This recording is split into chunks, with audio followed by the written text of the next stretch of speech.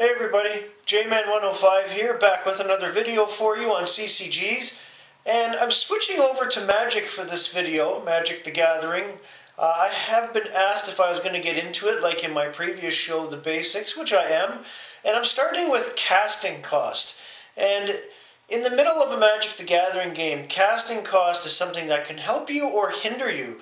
And I'm going to explain to you why, and I'm using cards from my mono green deck to showcase this. So, let's start talking about it.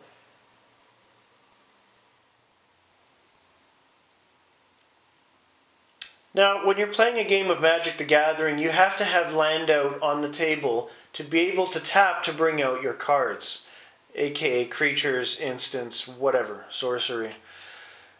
Some cards are very easy to cast, and again, this is from my green deck, so I'm going to show you the card Giant Growth only costs one mana to bring out. So I would tap one land by turning it to the left. So that land is tapped, Giant Growth can go out on the table and do what it needs to do. That's a small example. Cards have different casting costs. So something like Giant Growth that only has one for a casting cost. Stalking Tiger costs four to bring out. It's a 3-3 creature, so the higher you get, the more powerful creatures you have, and the more powerful cards are going to cost more mana to bring out. Cards like Aggressive Urge only costs a total of two mana. It's a decent card. Target creature gets plus one, plus one until end of turn, and, and you can draw another card. Spined Wurm, you're getting more into a power creature. For uh, 5-4, costs 5 to bring out. One of my heavy hitters, which I do use a quad in this deck of, is Scaled Wurm. It's a 7-6 creature, but it costs 8 mana to bring out. Now, a lot of people are under the misconception that they need more of the bigger creatures in their decks to be able to win. Not true. When you have a bigger creature that's like a 6-6 or a 7-6 or anything in that area, it's going to have a high cost to cast it to be able to bring it out. If you try to bring it out too soon, if you have them in your hand and not enough mana on the table, what are you accomplishing? Nothing. You can't get it out.